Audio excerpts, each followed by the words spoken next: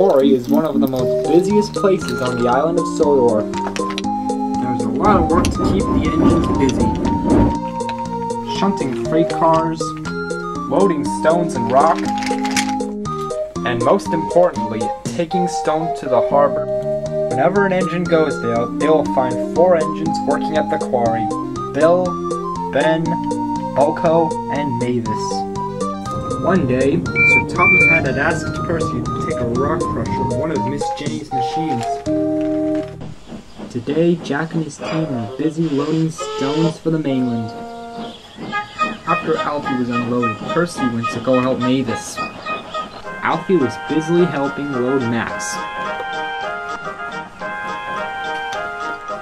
Every time Percy went to the quarry, he was scared. Once, there was a useful mine shaft. Nowadays, it was very useless and it was an abandoned building. No one had used it for a long time. Every time Percy puffed past it, he chucked away. He was scared of the mine shaft and didn't like going near it at all. But today, Percy was working extra hard to avoid the mine shaft. Boco often tried to tell Percy about the mine shaft, but Percy was too scared to listen. Bill and Ben were afraid of the mine shaft too. That afternoon, Tucker came to see the engines. We've got a big load of stone coming from Brendam Docks, He said, Percy, Bill, Ben, I want you to shunt the trucks to the quarry. Yes, sir, said the engines. But they weren't happy. They knew they had to go through the mine shaft.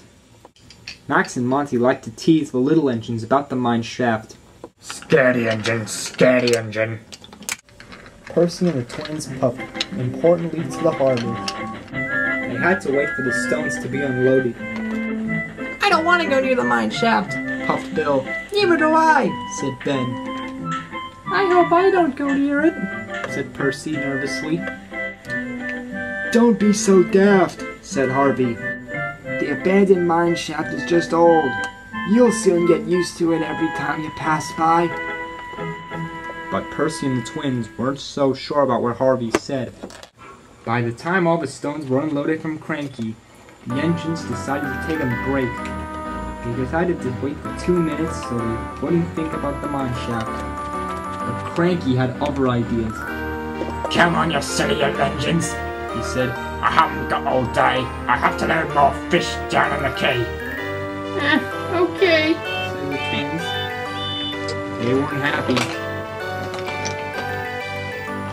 The three engines puffed as fast as they could they could avoid the abandoned mine shaft. This one's too heavy, puffed Percy.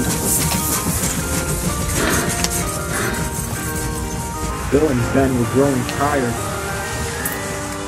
Okay, boys, puffed Mavis. You can puff along the track now.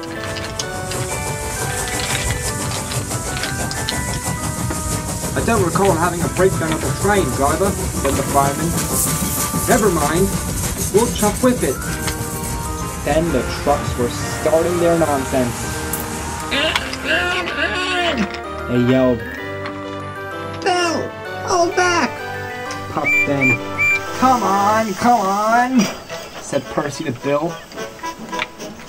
The three engines were in for trouble. Once he had accidentally dumped a load of rocks on the track because of Byron. The three engines applied their brakes, but it was too late.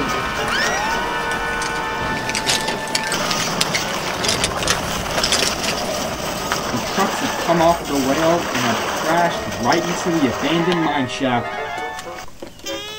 Well, I guess you three won't have anything to worry about now, chuckled Boco. Percy was worried. He had come off the rails and was worried that Sir Topham Hatt would be cross with him. When Thomas arrived at Rocky, they were busy clearing up the mess, and Sir Topham Hatt came to speak to the three engines. Percy, Bill, Ben, the action has almost caused confusion and delay. Luckily for you, you crashed into that old abandoned mine shaft. We didn't need it anymore. We were planning to demolish it. Now that'll be used for extra space for rocks. Thanks to you, you have increased the space of rocks for this quarry. I'm very proud of you three. You still have a lot to learn about trucks, though, Bill and Ben, said Sir Topham Hatt. The engines were glad Sir Topham Hatt wasn't cross with them, but they felt ashamed. When Percy was lifted back on the tracks, Jack wanted to speak to Percy. Percy, the accident wasn't your fault, he said. We all make mistakes sometimes, and sometimes lucky mistakes can lead us to good things. Because of you, you've given us extra space at the quarry. Sir Topham Hatt is very proud of you. Percy felt much better. He wasn't scared at the mine shaft anymore with Bill and Ben. They knew that it was gone, and they didn't have anything to worry about. The kissed